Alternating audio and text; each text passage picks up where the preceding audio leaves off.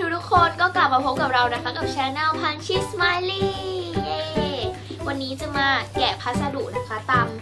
คำที่บอกคลิปที่แล้วนะคะ ก็เป็นพัสดุเทรดสกูชี่อีกแล้วคือช่วงนี้เทรดบ่อยมาก มาจากนี่เลยนะคะสกูชี่แพรพลอยนะคะ ก็ส่งมาแบบ EMS นะคะ 42 บาท โอเคก็เดี๋ยวเราไปตัดกันเลยค่ะ นี้ก็ขอตัดแบบว่าเห็นกล้องหน้าแล้วกันนะคะ ขอขี้เกียจไปตั้งเป็นกล้องหลังโอคือกล่องมันรูบี้มากอะเย้แกะแบบเดียวได้แล้ว Amazing Girl Thailand จิงกระเบล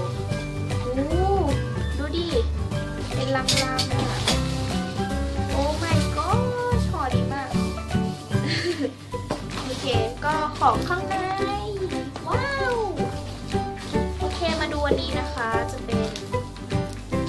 ของแถม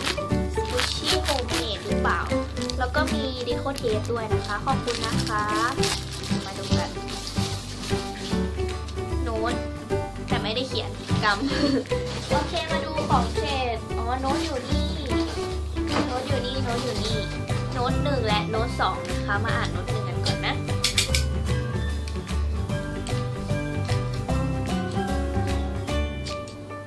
เค สวัสดีค่ะ หนูชื่อแพรนะ นี่เป็นครั้งแรกที่เทรดกับพี่พันหนูดีใจมาก ปอลอลายมืออ่านไม่สวย โอ้โห สวยมาก ฝากกดติดตามด้วยนะคะ ก็นี่จะเป็น IG นะคะ ฝากไปกด follow ด้วยนะคะเดี๋ยวเรามาอ่านโน้ตสองกัน ชอบมากๆอะ แกะแล้วก็มีโน้ตมาให้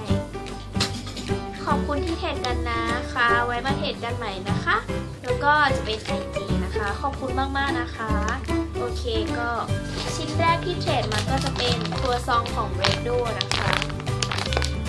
คือเราก็อยากได้ของ r e d o นะอันนี้น้องแกะเก็บหอมมากๆเลยอะ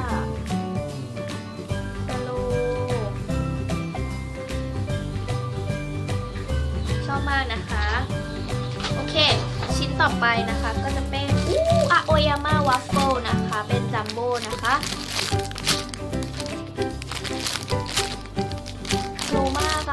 จจะมองไม่ค่อยเห็น